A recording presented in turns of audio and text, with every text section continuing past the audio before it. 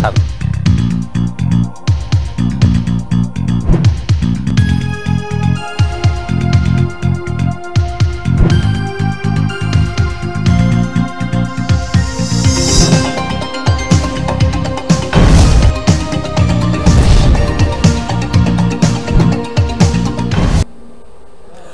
बुद्ध राइजको यो श्रृङ्खलामा स्वागत छ। सँगै छु म खेमराज रेग्मी। आदरणीय दर्शक महानुभावहरू ठाउँ ठाउँमा मेला महोत्सवहरू चलिरहेका छन्।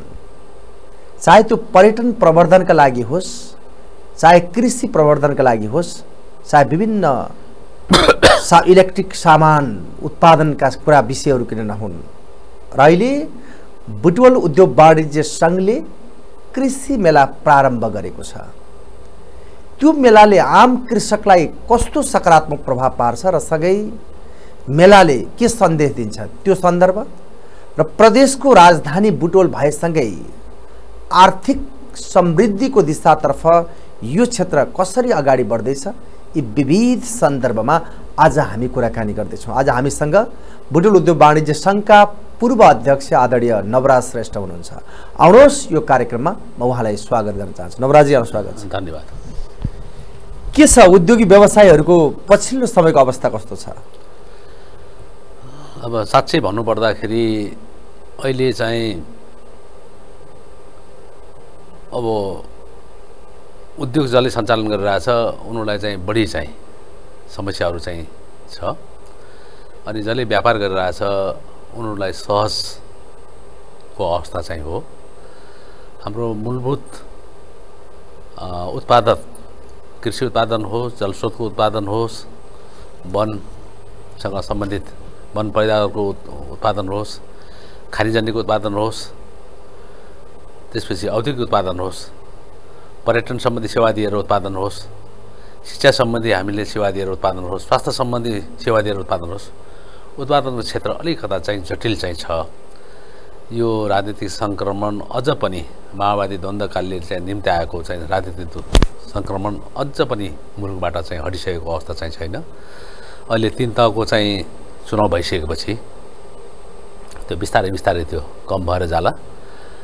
र एउटा चाहिँ राम्रो पक्ष चाहिँ अहिले के भयो भने एउटा चाहिँ फुल फेज मेजोरिटी गभर्मेन्ट चाहिँ अब केन्द्रमा पनि हुने भयो। त्यसपछि प्रदेशमा पनि लौ लौ त्यस्तै चाहिँ स्थिति चाहिँ देखिएको हुनाले अब राजनीतिक स्थिरताको कारणले गर्दाखेरि अब आर्थिक क्षेत्रले फड्को मार्ला। त्यसपछि आफ्नो आधारभूत व्यवसायको एउटा अङ्ग उत्पादन क्षेत्रले यसले चाहिँ गति लिएर जस्तो मलाई लाग्छ। के छ तपाईँ यो प्रदेशको राजधानी बुटवल भएसँगै अब मुलुक त सङ्घीयतामा गयो। ठुलो मुलुक होइन नेपाल हेर्दाखेरि यहाँको भौगोलिक संरचनालाई अध्ययन गर्दाखेरि सङ्घीयतामै जानुपर्ने होइन भन्ने खालको कुराहरू पनि उठ्छन्। प्रदेशको राजधानी बुटवल भइसके अब आर्थिक समृद्धिको ढोका कसरी खुल्ला कसरी काम होला? के देख्नु भएको छ मलाई त पहिला चाहिँ सर्वप्रथम त तपाईँको जिज्ञासालाई म चाहिँ अलिकता मेरो आफ्नो चाहिँ बुद्धि र विवेकले भ्यासमा म चाहिँ विवेचना गर्न चाहन्छु। उन्नाइस सय एकासीमा डाक्टर हर्ख गुरुङले यो विकिकरणको सिद्धान्तअनुसार मुलुकलाई जम्मा एकतिसवटा जिल्लामा पचहत्तर जिल्लाबाट एकतिसवटा जिल्लामा ल्याउने त्यो जिल्ला पनि ठुल्ठुला हुने। र अहिलेको वस्तुस्थिति अहिलेको यो गाविस जुन गाविनुभन्दा अगाडि जुन स्थानीय तह थियो त्यो गाविसलाई पनि सीमित पार्ने। र केन्द्रबाट जिल्ला जिल्लाबाट चाहिँ सिधै स्थानीय तहमा त्यो पञ्चायतकालमा जनमत सङ्ग्रहमा पञ्चायतले जितिसकेपछि अनि पञ्चायत राजनीति गर्नेहरूले आफ्ना कार्यकर्ताहरूलाई त्यो समावेश गर्नलाई उनीहरूले दुई हजार चाहिँ गाविस स्थानीय निकाय भएकोलाई चार हजार पुऱ्याएको थियो। झन् त्यसलाई चाहिँ टुक्रो टुक्राएर झन् धेरै सङ्ख्या गर्दाखेरि त्यो व्यवस्थापन खर्च चाहिँ अनि व्यवस्थापकीय पक्ष निकै कमजोर भएको स्थितिमा त्यस बेला चाहिँ डाक्टर हर्ख गुरुङले एउटा चाहिँ सीमित रूपले चाहिँ जिल्ला विकास समिति पनि जिल्ला जिल्ला पञ्चायत पनि एक जम्मा एकतिसवटा पार्ने। त्यसपछि स्थानीय तह पनि अलिक कम गर्ने। जुन दुई हजारको सङ्ख्या थियो तत्कालीन अवस्थामा उन्नाइस सय अस्सीमा त्यसलाई पनि अझ कम गर्ने। जस्तो अहिलेको स्थिति सात सय पचपन्न छप्पन्न छ त्यस्तै त्यस्तै हाराहारीमा पुऱ्याएर अनि एउटा चाहिँ आकार ठुलो आकारको स्थानीय निकाय पारेर अनि डाइरेक्ट चाहिँ एप्रोच पुऱ्याउने। स्थानीय सरकारको अवधारणा अनुसार चाहिँ सोच भएको हो। त्यसपछि उहाँले अर्को एउटा महत्त्वपूर्ण कुरा के गर्नुभएको थियो भने जति पनि वैदेशिक रोजगारमा आउनेलाई वर्क पर्मिट लगाउने भन्ने चाहिँ जुन सोच राख्नुभयो जुन कुरा अभिव्यक्ति गर्नुभयो त्यसपछि त्यो मित्र राष्ट्र भारतले उहाँको कुरालाई त्यसपछि उहाँ विरोधमा चाहिँ लाएपछि उहाँलाई चाहिँ त्यो अलिकता सरकारी पहुँच जुन राजाको मुख्य सल्लाहकार जस्तो थियो त्यसपछि बिस्तारै बिस्तारै बहिमान गरेर अहिले चाहिँ नभएको अवस्था चाहिँ हो। अब अहिलेको स्थिति ठ्याक्कै त्यस्तै किसिमको स्ट्रक्चर अहिले चाहिँ। अहिले नयाँ संविधानले चाहिँ अङ्गीकार गरेको छ यो विकासको लागि अति महत्त्वपूर्ण हो अब सङ्घीयताको कुराहरू गर्दाखेरि दुईवटा विषयले एउटा चाहिँ भौगोलिक हिसाबले त्यसलाई व्यवस्थापन गर्ने पक्ष प्रभावकारी रूपले चाहिँ व्यवस्थापन होस् भन्ने हिसाबले अर्को जातीय र वेशभूषा भाषा संस्कृति मिल्दोजुल्दो हिसाबले चाहिँ यो संहिताको चाहिँ एउटा कन्सेप्ट चाहिँ आएको। तर नेपालको सन्दर्भमा कुरा गर्दाखेरि हामीले अवसरको हिसाबले हेर्दाखेरि उत्तर दक्षिणको हिसाबले जुन पहिला पाँचवटा प्रदेशको एउटा सोच राखिएको थियो त्यो सातवटा प्रदेश बनाए तापनि पाँचवटा प्रदेशभन्दा बढी चाहिँ गर्नु नहुने थियो। यहाँले भन्नुभएको सातवटा प्रदेश अलिकति बढी पनि हो। त्यो हुँदाखेरि के भने दुवै सिमाना भारत र चाइनाको सिमानाबाट चाहिँ जुन चाहिँ भोलि बाटो खोलिसकेपछि प्रत्येक प्रदेशहरूले जुन फाइदा लिन सक्ने चाहिँ अवस्था चाहिँ थियो। आफ्नो उत्पादनहरू त्यसपछि आफूलाई चाहिएको सामानहरू ल्याउन लानलाई जुन किसिमको सहुलियत र सुविधा हुन्थ्यो त्यो किसिमको अलिकता प्रदेश नम्बर दुईले चाहिँ दुई चाहिँ वञ्चित भएको अवस्था चाहिँ छ। त्यस्तो किसिमको अवस्था भएको भए राम्रो हुन्थ्यो। तर यसमा चाहिँ कुरा खास कुरा के छ भने अब चाहिँ स्थानीय सरकार भइसकेपछि सरकार त त्यतिकै गठन त भएन त्यो विधानसभा त्यतिकै गठन भएन अब स्थानीय स्रोत साधन हामीसँग नेपालको साँच्चै भन्ने भयो विश्वमा हामी निकै नै धनी छौँ प्राकृतिक हिसाबले स्रोत साधनको हिसाबले। त्यसको दोहन हुन सकिरहेको छैन। यहाँलाई मैले चाहिँ कुरा गरौँ। काठमाडौँ एउटा मात्रै सहरले काठमाडौँको लगभग लगभग चाहिँ पहिला त पचहत्तर पर्सेन्ट जति चाहिँ आर्थिक क्षेत्र चाहिँ क्रियाकलापमा अगाडि थियो भने अहिले आएर लगभग पनि साठी पर्सेन्ट अहिले पनि छ। अनि चाहिँ त्यसको चाहिँ त्यो paralyze गर्ने र क्षेत्र क्षेत्रको यो प्रादेशिक हिसाबले विकास गर्नलाई त्यसपछि काठमाडौँको विकासको दर बिस्तारै बिस्तारै घटाउँदै लाने। काठमाडौँको सर सुविधालाई बिस्तारै बिस्तारै घटाउँदै लगेर त्यो चाहिँ के भने अब प्रदेश प्रदेशमा चाहिँ हुने अवस्था आउँछ। त्यसपछि एउटा मात्रै कुराहरू हामीले विकास गर्न सक्यौँ भने प्रत्येक प्रदेशले एउटा एउटा मात्रै विकास जलस्रोतमा विकास गर्न सक्यौँ भने सडक पूर्वाधारमा विकास गर्न सक्छौँ कृषिमा विकास गर्न सक्यौँ भने अनि विद्युत हामीले उत्पादन गर्न सक्यौँ भने पर्यटन विकास गर्न सक्यौँ भने त कहाँ प्लट हुनसक्छ त्यसै तपाईँ यो कुरा गरिराख्नु भएको छ नवराजी वास्तवमा। आज एउटा कुनै सामान्य सामग्री पनि विदेशी मुलुकबाट आयात नगरिकन समस्याको समाधान भएको छैन यो मुलुकमा। र सँगसँगै यस्तो संस्कार बस्यो कि एउटा छोरो रोजगारी नपाइसकेपछि विदेश पठाउनुपर्छ भन्ने सोच बाबाआमाप्रति आइसकेका छ। ऊ जिन्दगीभर विदेश बस्छ जब बुढेसकाल लाग्छ फर्केर नेपाल आइपुग्छ। उसको सिप र सृजना त यहाँ प्रयोग हुँदैन बाहिर हुन्छ। यस्तो विषम परिस्थिति मुलुकमा हुँदाहुँदै हामीले कुन आधारमा गरे भने गऱ्यौँ भने यो हुनसक्छ भने भनिरहेको छौँ कारण के हो? यसो यसो सुन्नुहोस् न अब सुरुवात विकासको सुरुवात भनेको शून्यबाट सुरु हुने हो। पहिला चाहिँ त्यो हाम्रो चाहिँ डिप्रिसिएट बजेट हुन्छ। हामी चाहिँ हाम्रो चाहिँ आयात निर्यात डिप्रिसिएट छ। अब त्यसलाई चाहिँ पहिला चाहिँ हामीले जिरोमा ल्याउँ। जिरोबाट हामीले लेट्स स्टार्ट हामीले आज केही पनि नभएको ठाउँमा हामीले केही उत्पादन गऱ्यौँ भने हामीले केही आर्थिक क्रियाकलाप भने त्यो त हाम्रो चाहिँ प्लस पोइन्ट भयो नि। बिस्तारै बिस्तारै त्यसलाई एक्सट्रेट गर्दै लाने हो पक्ष हो। त्यसपछि एउटा अर्को पक्ष के भने अब हामीले एउटा मात्रै पक्षलाई मात्रै हामीले चाहिँ यदि चाहिँ त्यसलाई दोहन गर्न सक्यौँ त्यसलाई विकास गर्न सक्छौँ त्यसको चाहिँ इकोनोमिक सर्कल चाहिँ तयार हुन्छ। जस्तो सपोज गरौँ कृषिकै हामीले आधुनिकरण गरेर चाहिँ यदि हामीले चाहिँ त्यसलाई उत्पादन गर्न सक्यौँ भने त्यसमा रोजगारको अवस्था हुनसक्छ। हामीले चाहिँ बा विदेशबाट किन्ने चाहिँ खाद्यान्न किन्नु पर्दैन हाम्रो चाहिँ बचत बचत हुन्छ। त्यसपछि त्यो बचतले हामीले उद्योग कर कारखाना खोल्न सक्छौँ जलविद्युत उत्पादन गर्न सक्छौँ पर्यटन विकास गर्न सक्छौँ कृषिसँग सँगैसँगै हामीले गर्न सक्छौँ। अब अर्को कुरा यातायातको विकास हो भने हाम्रो पहुँच चाहिँ सहुलोसँग हामीले सस्तोमा किन्न पाउँछौँ। तपाईँलाई एउटा मात्रै कुरा गर्न खोज्छु म चाहन्छु। कर्णालीको कुरा गरौँ हामीले। कर्णालीमा चाहिँ राजा वीरेन्द्रको पालामा क्षेत्रीय विकासको अवधारणा आयो। अनि पहाडी क्षेत्रमा हिमाली क्षेत्रमा फलफुल उत्पादन गर्ने त्यसपछि मध्य पहाडी क्षेत्रमा चाहिँ पशुपालन गर्ने कृषि गर्ने तराई क्षेत्रमा उद्योग धन्दा र खेती गर्ने भन्ने भयो। तर के सन्तुलन विकास नहुँदाखेरि कर्णालीमा फलेका चाहिँ स्याउहरू त्यहाँ गाई भैँसीलाई खुवाउनु पर्ने रक्सी पार्नुपर्ने त्यसपछि त्यो व्यवस्थापन गर्न चाहिँ गाह्रो हुने। जब यातायात चाहिँ पुग्यो त्यसपछि उनीहरूले चाहिँ त्यो फाल्ने चाहिँ त्यो चाहिँ घाँडो भएको स्याउको मूल्य तिस पैँतिस रुपियाँ चालिस रुपियाँ किलोमा त बिक्यो नि त्यहाँ। उनीहरूको आ गति भयो। त्यसपछि उनीहरूले जुन जुन किन्ने चाहिँ सामग्रीहरू थियो एक सय पचास रुपियाँ एक सय साठी रुपियाँ किलोमा चाहिँ चिनी किन्ने त्यो ठ्याक्कै झरेर अस्सी नब्बेमा किने नि। उनीहरूको त डबल एक्सनले चाहिँ उनीहरूको चाहिँ उनीहरूको बचत चाहिँ भयो नि। आफूले खपत गर्नुपर्ने कुराहरू सस्तोमा खरिद गर्न पायो। त्यसपछि उनीहरूले चाहिँ उत्पादन गरेको सस्तोमा बेच्नेलाई महँगो चाहिँ पर्दाखेरि उनीहरूको चाहिँ के भने डबल डिजिजले उनीहरूको चाहिँ जीवन स्तर चाहिँ उकासियो यसले गर्दाखेरि यो उत्पादन र चाहिँ उपभोक्तासम्म पुर्याउनलाई जुन च्यालेन्जहरू छ यातायात सञ्चार बजार पक्ष यसलाई चाहिँ सन्तुलन हिसाबले चाहिँ विस्तार विकास गर्दै जानुपर्छ। जुन बेला चाहिँ त्यो क्षेत्रमा चाहिँ फलफुल उत्पादन गर्ने त्यसपछि डिगाहरू ए त्यो पशुपालन गर्ने भन्ने जुन सोच आयो जडीबुटी उत्पादनमा त्यो त्यो सोचको साथसाथै चाहिँ यदि बाटो खनिएको भए चार पाँच वर्ष त उत्पादन गर्न लाग्छ। चार पाँच वर्षमा बाटो पनि पुग्थ्यो। यदि त्यो गरेको भए त्यो चाहिँ जनतामा त्यस्तो नैराश्यता आउँदैन थियो। अब चाहिँ विकास गर्दाखेरि यो सबै कुरालाई चाहिँ तर्जुमा गरेर विकास गर्नुपर्ने। जस्तै जस्तै तपाईँले एकदम राम्रो कुरा यहाँनिर उठाउनु भयो मलाई यहाँनिर प्रश्न सोध्न मन लाग्यो।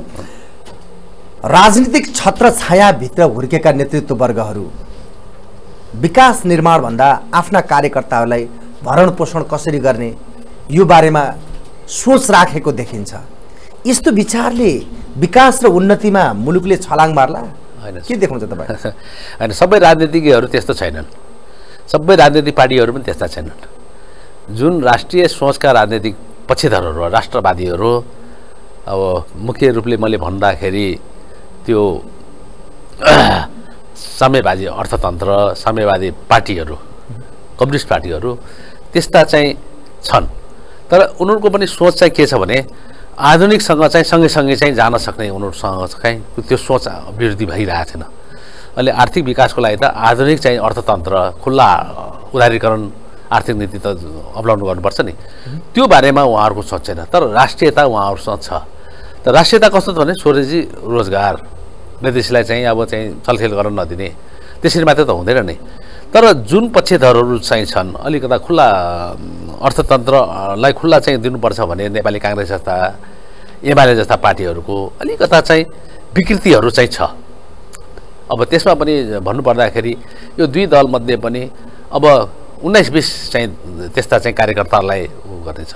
तर अहिले स्पष्ट रूपमा मैले भन्नुपर्दाखेरि के भने सबै राजनीतिज्ञहरू पनि त्यस्ता छैनन् सबै राजनीतिक दलहरू पनि त्यस्ता छैनन् तर कोही कसैले गर्ला? एउटा अर्को विडम्बना के छ भने हाम्रो नेपालको विकास नहुनुमा यहाँको चाहिँ यो सङ्क्रमण आर्थिक यो राजनीतिक सङ्क्रमण हुनुमा सामाजिक सङ्क्रमण हुनुमा मलाई मित्र मित्र राष्ट्र भारतको धेरै ठुलो हात छ जस्तो लाग्छ।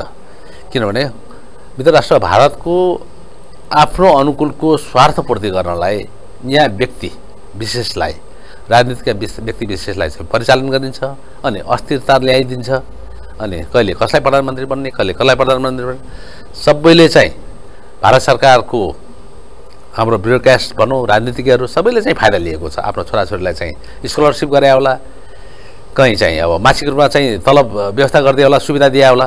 त्यसले गर्दाखेरि जहिले पनि त्यो एउटा चाहिँ उनीहरूको चाहिँ मान्नुपर्ने भारतको कुरा मान्नुपर्ने हुँदाखेरि यो अस्थिरता आइरहेको छ।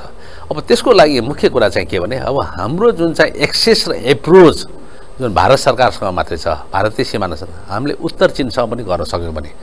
उत्तर चिनसँग गर्नुपर्ने प्रत्येक अञ्चल जुन जोडिएको अञ्चलमा एउटा एउटा चाहिँ बाटो चाहिँ होस् मोटर रेल बाटो। एउटा चाहिँ बाह्रै महिना चाहिँ चल्ने चाहिँ सुरुङको बाटो चाहिँ परिक्रमा गरौँ। एउटा चाहिँ रेलको कुरा आइरहेछ एउटा रेल चाहिँ नेपाल र चाइना चाहिँ दौड्ने एउटा रेल होस्। त्यसपछि चार सय बिस केबिएको विद्युत लाइन प्रसारण लाइन आदान प्रदान गर्न। कहिले हामीलाई नेपालको बढ्ता हुँदाखेरि चाइनातिर पठाउने चाइनाको बढ्ता हुँदाखेरि ए चाइनासँग खरिद गर्नु पर्दाखेरि नेपालले ल्याउने त्यसरी एउटा पेट्रोलियम पाइप लाइन। यदि त्यो त्यतिको मात्रै हामी व्यवस्था गर्न सक्यौँ भने त्यसपछि यो जुन परनिर्भरताको अस्थिरताको कुरा छ नि यो सबै निर्मूल भएर जान्छ। जस्तै जस्तै अहिले चाहिँ यो सरकार जुन चाहिँ छ बडो बडो गजबको कुरा यहाँले गरिराख्नु भएको छ। म जुन राजनीतिक दलकै कुरा यहाँनिर गर्नुपर्छ। जहाँ जहाँ जुन दलले जिते ती दलका नेतृत्व वर्गहरू जहाँ जहाँ आफ्नो कार्यकर्ताको बाहुल्यता छ। चाहे त्यो सडकमा कालो पत्रे गर्ने कुरा होस् चाहे सडकमा त्यो माल हाल्ने कुरा होस् आफ्ना आफ्ना कार्यकर्ताको उसमा चाहिँ भरण पोषण गरेको देखिन्छ एकातिर। अर्कोतर्फ जहाँ प्लटिङ भएको छ त्यो जमिनमा मात्रै यिनीहरू त्यो मालहरू ल्याएर हालेको देखिन्छ। अर्कोतर्फ यो रेलकै कुरा पूर्व पश्चिम रेलको कुरा यहाँले ल्याउनु भयो नि। रेल गर्दा पनि जहाँनिर आफ्ना कार्यकर्ताहरू छन् जहाँनिर आफूले चुनाव जित्ने स्थान छ त्यहाँबाट कतातिर सार्न सकिन्छ। त्यो सारो त्यो जनता कसरी सुरक्षित बनाउन सकिन्छ?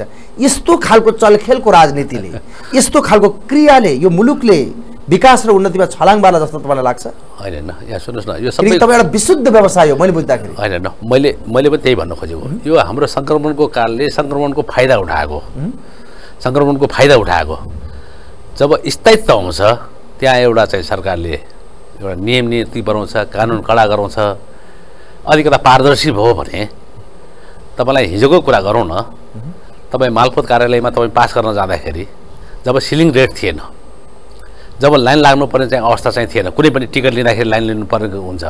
पेट्रोल पदार्थ भर्दाखेरि तपाईँको चाहिँ लाइन लाइन लाग्नुपर्ने चाहिँ अवस्था चाहिँ छ। अब जनतालाई शिक्षाको साथसाथै जनचेतनाको जब अभिवृद्धि हुन्छ नि त्यहाँ जनताले चाहिँ त्यसपछि औँला ठडाउँछ एउटा चाहिँ कानुन बनिरहेको हुन्छ। जबसम्म कानुन हुँदैन जबसम्म स्पष्ट रूपमा कानुन हुँदैन त्यहाँ चाहिँ व्याख्या गर्न सक्दैन। त्यसपछि त्यस्ता चाहिँ पहुँचवालाहरूले त्यसो ठिचोमिचो गर्छन्। जब कानुनको प्रतिपादन हुन्छ जब जनताले त्यो कानुन बुझ्छ आफ्नो अधिकारको खोजी गर्छन् त्यसपछि त्यहाँ त्यस्तो विकृति हुन सक्दैन। अहिलेसम्मको जुन चाहिँ यो चाहिँ सङ्क्रमण थियो अहिलेसम्म चाहिँ सङ्क्रमण हो। अब भोलिको दिनमा सङ्क्रमण हुन्छ कि हुन्न भन्ने कुरामा अब हाम्रो प्रश्न चिन्ह चाहिन्छ स्थायी सरकार हुन लाग्छ सङ्क्रमण नहोला। सङ्क्रमण नहुने बित्तिकै के भने त्यहाँ चाहिँ जनता चाहिँ अब धेरै सचेत छ। हिजोको चाहिँ अब दुई हजार सात साल जत्रो दुई हजार सत्र साल जस्तो जन जनता होइन दुई हजार छ्यालिस साल जस्तो जनता होइन। सबैको हातमा मोबाइल छ सबैले इन्फर्मेसन पाउँछ सबै पढाइ लेखा छन् सबैसँग पैसा छ आफ्नो अधिकारप्रति सचेत छ। त्यसपछि राम्रो र नराम्रोको टिका टिप्पणी कुन चाहिँ दलले चाहिँ राम्रो गरे कुन चाहिँ दलले राम्रो गरे भने टिका टिप्पणी गर्ने चाहिँ अवसरमा अनि त्यो सबै चाहिँ त्यसो गर्न पाउँछ र सक्दैन नि। जब त्यस्ता चाहिँ पक्षधरहरू चाहिँ त्यहाँ उभिन्छन् जब खडा हुन्छन् त्यसको चाहिँ व्यापक रूपमा विरोध हुन्छ। अरू केही नभए पनि भोटको जब इलेक्सन हुन्छ त्यस्ता चाहिँ नेताहरू फेरि चाहिँ त्यो धरासी हुनुपर्ने हुन्छ। अहिले चाहिँ बिहारमा लालु प्रसाद यादव के भयो? हिजो लालु प्रसाद यादवले गर्दा एक छत्र छाया थियो। दुई दशक त लगभग लगभग बिहारको त विकास शून्य भयो नेगेटिभ विकास भयो। अझ नीतिश आउने बित्तिकै के भयो त्यहाँको? प्लट भयो नि। यस्तै हो। अब यहाँ पनि हाम्रो जुन सङ्क्रमण छ त्यो बिस्तारै बिस्तारै हट्दै गएपछि हुन्छ। अब फेरि अर्को कुरा मलाई चाहिँ एउटा खुसी कुरा के लाग्छ भने त्यो आम चाहिँ भारतीय जनताभन्दा हाम्रो नेपाली जनताहरू एकदम आफ्नो अधिकारप्रति बढ्ता सहज छन्। केही कुरा भयो भने उहाँले प्रोटेस्ट गर्ने चाहिँ एउटा वातावरण छ। हाम्रो समाजै संस्कार त्यस्तो किसिमको छ। त्यसले गर्दाखेरि मलाई लाग्दैन कि यो विकास नहोला भन्ने मलाई लाग्दैन। किन फेरि यो विकास भन्ने कुरा त के भने एउटा आगो लाग्दाखेरि एउटा पुरै चाहिँ सानो झिल्काले पुरै चाहिँ गाउँ ध्वस्त बनाएको चाहिँ एउटा जब विकास हुन्छ नि विकासले पुरै चाहिँ कुनै क्षेत्रको विकास गर्छ। मैले तपाईँलाई भने अघि नि एउटा इकोनोमिक सर्कल एउटा क्रिएट हुन्छ जसले गर्दाखेरि उत्पादनदेखि लिएर त्यसलाई रोजगार उपभोक्तासम्मको त्यसको चाहिँ जुन चेन इफेक्टहरू छ त्यसले चेन इफेक्ट चाहिँ असर पार्छ। अब हामीसँग धेरै समय पनि छैन वास्तवमा। यहाँहरू कृषि मेला त्यो पनि अर्ग्यानिक खेती कसरी गर्ने भनेर शिक्षा दिने भनेर मेला प्रारम्भ गर्नुभएको छ। यद्यपि विगतका वर्षहरूमा पनि यहाँहरू गर्नुहुन्थ्यो मेला। मेला गर्नका निम्ति मात्र गर्नुभएको छ कि त्यो मेलाले आम उपभोक्तालाई कृषकलाई टेवा पनि दिएछ? ए, एकदम समसामयिक कुरा गर्नुभयो। अब हामी आयोजक हौँ। अब यो उद्योग वाणिज्य सङ्घ यो व्यवसाय भन्नाले खालि व्यापारलाई मात्रै व्यवसाय भन्ने चाहिँ जुन चलन छ हाम्रो अहिले पनि त्यही बुझ्छौँ। बिजनेस अन्तर्गत सबै किसिमको आर्थिक क्रियाकलाप यहाँसम्म कि गृहिणीले आफ्नो घरमा गर्ने चाहिँ व्यवसाय। उसले व्यवसाय गर्छ उसले खानासाना पकाउँछ बालबच्चालाई तयार गरेर स्कुल पढाउँछ श्रीमानलाई चाहिँ उसले तयार गरेर चाहिँ अफिस पठाउँछ अनि उसले किनमेल गर्छ। त्यो पनि त उसको व्यवसाय हो नि। हामीले व्यवसायलाई एकदम कम चाहिँ दायरामा राखेका छौँ। उद्योग र व्यापारलाई मात्र अझ व्यापारलाई मात्रै व्यवसाय भन्ने चाहिँ जुन चलन छ त्यो होइन। सबैलाई हाम्रो व्यवसायको मूल दण्ड भनेको कृषि हो। कृषि उपज आज हामीले हिजोको अवस्थामा हामीले चाहिँ निर्यात गर्छौँ भने अब अहिले चाहिँ हामीले चाहिँ आयात गर्नुपर्ने। किन? जनसङ्ख्याको हाम्रो चाहिँ बढी भयो त्यसपछि हाम्रो खानाको विविधीकरण भयो खानाको मात्रा बढिरहेको छ हामीसँग पैसा छ हामी बढी खान्छौँ। हिजो सामान्यतया म पनि पाहाडबाट हुर्किएको मान्छे तिम्रो त हामी चाहिँ आँटो भात खान्थ्यौँ। एउटा मात्रै हामी खाना खान्थ्यौँ एउटा मात्रै तरकारी खान्थ्यौँ एउटा चटनी खान्थ्यौँ। सामान्य परिवारको कुरा गर्न खोजेँ मैले तर आज चाहिँ हामीहरू चाहिँ खानेको भ्याराइटिज कति भयो? हामीलाई नेपाली चाहिँ परिकार चाहिएछ इन्डियन चाहिएछ हामीलाई चाइनिज फुड चाहिएछ त्यसपछि हामीले चाहिँ कन्टिनेन्टल भन्छौँ। त्यसले गर्दाखेरि हाम्रो चाहिँ विविधीकरण भएको हुनाले हाम्रो खपत चाहिँ बढाएको छ। त्यसले गर्दाखेरि अब यो कृषिको बारेमा जुन चाहिँ अर् अर्ग्यानिक चाहिँ कुराहरू आयो। अब अर्ग्यानिक चाहिँ खाना किन चाहियो त भन्दाखेरि सबभन्दा पहिला त के भने हामी उत्पादन बढाउनुको लागि नयाँ चाहिँ हामी केमिकल प्रयोग गरेर मल विषादीहरू चाहिँ प्रयोग गरेर हामी चाहिँ उत्पादन बढाउनु पर्ने किनभने हाम्रो तत्काल आवश्यकता त्यस बेला चाहिँ त्यो थियो। जब अब उत्पादन सँगसँगै उत्पादनको मात्रा पनि बढाउनु पऱ्यो उत्पादन मात्रा पनि बढाउनु त्यसको क्वालिटी पनि बढाउनु पऱ्यो नि। क्वान्टिटेटिभ भन्छ त्यसलाई। क्वान्टिटेटिभ चाहिँ प्रोडक्सन चाहिँ गर्नुपर्ने भयो। क्वान्टिटेटिभ प्रोडक्सन गर्दा उता चाहिँ मात्रा पनि बढाउनु पऱ्यो यतातिर हामीले क्वालिटी पनि बढाउनु पऱ्यो जसले स्वास्थ्य पर्यावरण त्यसपछि माटोको अल्मुलेपन माटोको चाहिँ पछि चाहिँ फरक नपर्ने त्यसको चाहिँ जुन चाहिँ साइड इफेक्टहरू छ त्यो कन्ट्रोल गर्नलाई त्यो गर्नुपर्ने हुन्छ। यसको लागि के भने यो चाहिँ एउटा चाहिँ प्रचार प्रसार गर्नलाई यो चाहिँ कृषक जस्तो जनस्तरमा चाहिँ पुर्याउनलाई यो किसिमको व्यवस्था चाहिँ ल्याइएको हो। तर यसको पनि के छ भने अहिले जति पनि यहाँ चाहिँ कार्यक्रमहरू अहिले हाम्रो विगतमा धेरै वर्षदेखि हामी यो कार्यक्रम गरिरहेछौँ मलाई चाहिँ अनुभव छ। मेरो चाहिँ पूर्व अध्यक्ष मभन्दाको पूर्व अध्यक्ष निर्मला गोलजीको पालादेखि दुई हजार बैसठी सालमा। यो हामीले चाहिँ पहिलो चाहिँ कृषि मेला चाहिँ आयोजना गरेका थियौँ। तर कृषिमा पनि समृद्धि हुनसक्छ कृषिलाई व्यवसायीकरण गर्न सकिन्छ कृषिको माध्यमबाट चाहिँ हाम्रो जीवनस्तर उठाउन सकिन्छ भन्ने एउटा चाहिँ सोचले हामीले चाहिँ कृषिको गर्न खोज्या हो।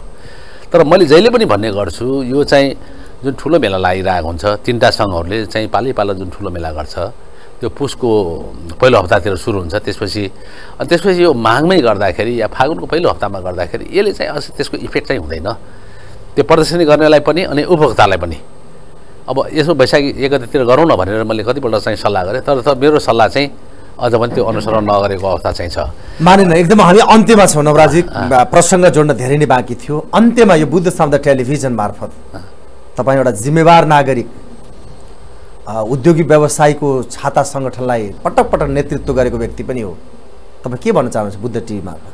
अब मैले मेरो यो पहिलो अवसर पनि हो। मेरो यसरी चाहिँ जनसमक्ष बुद्ध टेलिभिजनले मलाई चाहिँ यो अवसर चाहिँ दियो। र त्यतिको नाताले मात्रै मैले बुद्ध टेलिभिजनलाई सबै कुरा मैले दिन सक्दिनँ। यसको उत्तरोत्तर चाहिँ प्रगति होस्। यो सञ्चार विकासको लागि सञ्चार पनि एकदम महत्त्वपूर्ण पक्ष हो। अब सञ्चारको पनि यो सूचनाको हकका कुराहरू भयो। यसलाई व्यवसायीकरण चाहिँ रूपले हेर्दाखेरि अहिले सामान्यतः तपाईँलाई अलिकति कुरा बढी होला लामो होला। एउटा मोटरसाइकल किन्ने मान्छेले रहरले मोटरसाइकल किन्छ। उसको पाहाडमा चाहिँ मोटर बाटो चाहिँ बनाएछ मोटरसाइकल जाने बाटो बनाएछ। उसको उत्पादन हुने चाहिँ एक किलो टमाटर दुई लिटर ती दुध। त्यो व्यवसायीकरण बिस्तारै बिस्तारै यसरी चाहिँ उसले ल्याएर बजारमा चाहिँ दिन्छ। अब मोटरसाइकललाई त तेल चाहियो। त्यो अनि उसले चाहिँ उत्पादन गर्न सुरु गर्छ। त्यसले गर्दाखेरि त्यो सञ्चार भन्नाले मैले टेलिफोनको कुरा गरेँ त्यसपछि बजार पछिका कुराहरू भयो। ए बुटोलमा के भयो छ? अहिले धेरै उत्पादन गर्ने। पाल्पामा के भयो छ काठमाडौँ के भयो छ?